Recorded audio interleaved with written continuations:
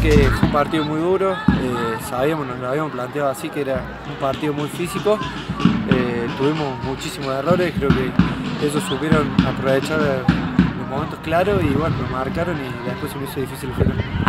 Sí, la verdad que muy contento por entrar en semifinales, hacía dos años que el club no podía jugar las semifinales, así que muy contento por eso, pero no nos conformamos, tuvimos muchos errores y creo que si queremos jugar una semifinal a la altura tengo que mejorar mucho.